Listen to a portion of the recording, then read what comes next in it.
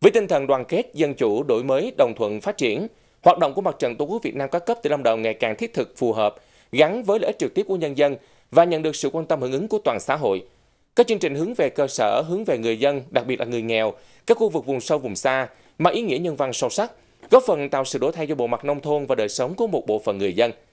Nhân kỷ niệm 79 năm của Khánh hà tháng 9, phóng viên thời sự có ghi nhận sau. Sau nhiều năm sống trong nỗi lo, nhà cửa dột nát tạm bợ.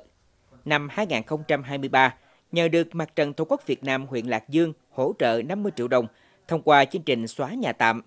vợ chồng anh cơ xá Ca Luyên ở thôn Đà Nhiệt, xã Lát đã mạnh dạn vay mượn thêm kinh phí hoàn thành xây dựng căn nhà cấp 4 kiên cố, khang trang. Điều này giúp vợ chồng anh Ca Luyến yên tâm làm ăn, nâng cao chất lượng cuộc sống.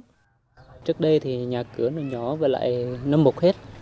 Thì được nhà nước và quan tâm thì ờ, bên mặt trận tổ quốc huyện với lại tỉnh cũng đã hỗ trợ được đôi ít.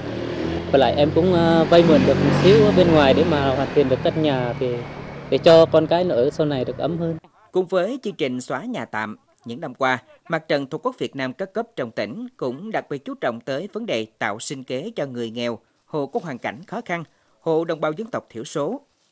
Tại huyện Đam Rồng từ năm 2022 đến nay đã tiếp nhận hơn 7 tỷ đồng triển khai hỗ trợ sinh kế cho 435 hộ nghèo, hộ cận nghèo.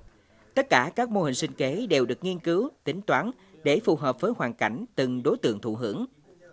Nhờ đó, khi triển khai đã mang lại hiệu quả tích cực, giúp người dân nâng cao thu nhập, cải thiện cuộc sống.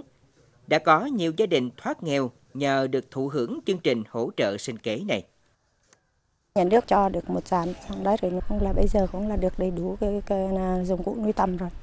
Từ khi mình, mình nuôi tầm á, là gia đình mình là thứ nhất là thoát nghèo, còn thứ hai á, cũng là được ừ, mua sắm được thí dụ là tivi này, máy giặt với lại à, tủ lạnh.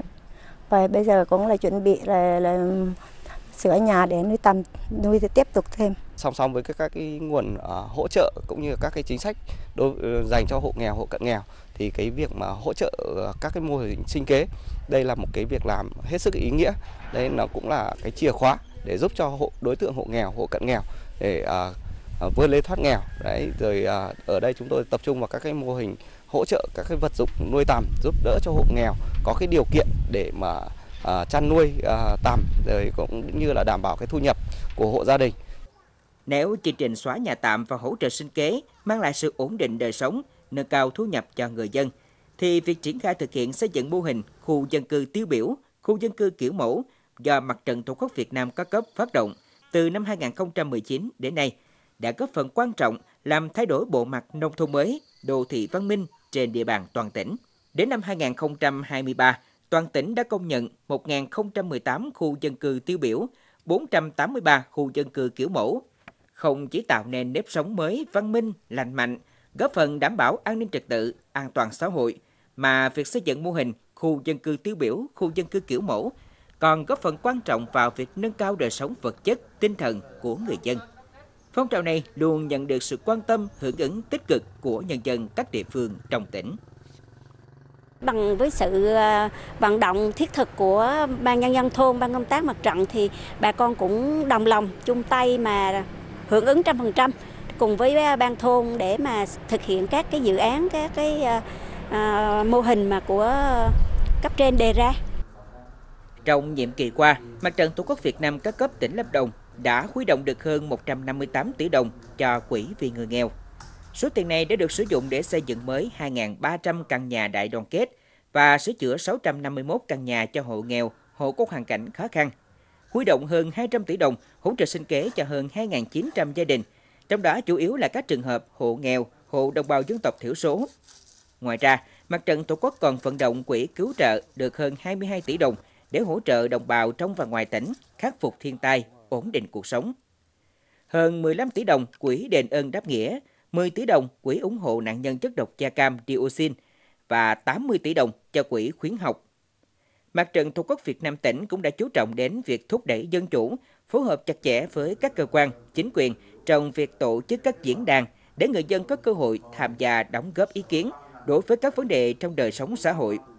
Phát huy tốt vai trò trong việc thực hiện phương châm dân biết, dân bàn, dân làm, dân kiểm tra, dân giám sát, dân thụ hưởng, góp phần xây dựng xã hội dân chủ, công bằng và văn minh. Cái quan điểm chỉ đạo hoạt động của mặt trận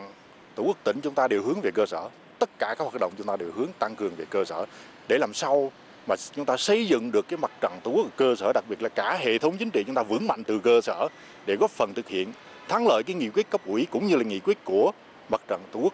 à, Việt Nam các cấp để qua đó chúng ta mới thấy rằng là cái cái vai trò cái trách nhiệm của mặt trận tổ quốc làm nòng cốt cùng với hệ thống chính trị trong việc cụ thể hóa các chủ trương của đảng chính sách pháp luật và nhà nước cũng như là cái các phong trào thi đua yêu nước các cuộc vận động của mặt trận đạt được hiệu quả trên các mặt công tác trên các lĩnh vực. Những kết quả đạt được nhiệm kỳ qua là tiền đề để mặt trận Tổ quốc Việt Nam tỉnh Lâm Đồng tiếp tục khẳng định vai trò là liên minh chính trị, liên hiệp tự nguyện, đại diện bảo vệ quyền và lợi ích hợp pháp chính đáng của nhân dân. Tiếp tục đẩy mạnh công tác giám sát, phản biện xã hội, đấu tranh phòng chống tham nhũng tiêu cực, góp phần xây dựng đảng và chính quyền trong sạch, vững mạnh, góp phần vào sự phát triển kinh tế xã hội của tỉnh Lâm Đồng nói riêng và cả nước nói chung.